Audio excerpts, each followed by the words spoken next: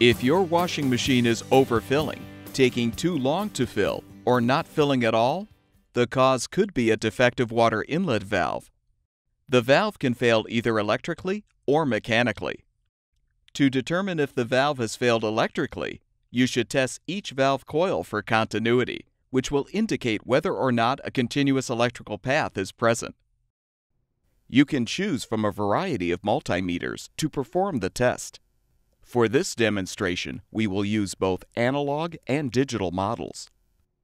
When using an analog model, first rotate the range selection dial to the lowest setting for ohms of resistance. Then calibrate the meter by pinching the probes together while adjusting the needle to read zero. When using a digital model, again rotate the dial to the lowest setting for ohms of resistance, or resistance with tone if your meter has this option. Before you begin, make sure the inlet valve has been removed or isolated from the appliance. Now, use a probe to touch one terminal of the coil you're testing, and the second probe to touch the other terminal. If the meter reading shows a result between 500 and 1500 ohms of resistance, the coil has continuity. However, if the meter's needle does not move, or the digital display does not change significantly, there is no continuity, which means the valve has failed electrically and will need to be replaced. Determining if the valve has a mechanical defect can be more difficult. First confirm that there is sufficient water pressure to the inlet valve.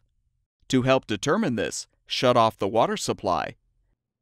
Disconnect the hot and cold water supply lines from the inlet valve and hold them over a bucket or a wash tub.